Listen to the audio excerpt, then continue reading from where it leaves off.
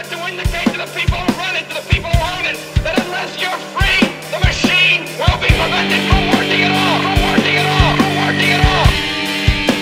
Don't lay down and die because a new world order, the business of the day for the elite when they're coming to take your freedom. Well, hello again, human beings from the planet Earth. You see the hashtag on Twitter. I'm fucking horrified. And I'm here to send a warning. I know the abortion debate has gone on for a long time. I never agreed with it. I understood the verbiage put out by both sides. I don't agree with it. There's another party in this equation that you have not thought of. And that's those of us that hear those silent screams of those children.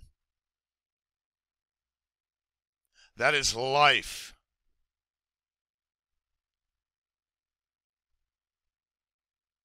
And you're guilty of murder.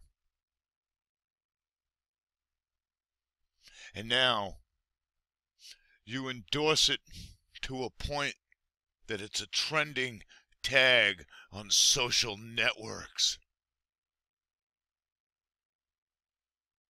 And you're going to pay hell for it. You're going to pay hell for it. You don't have to fucking argue with me about it.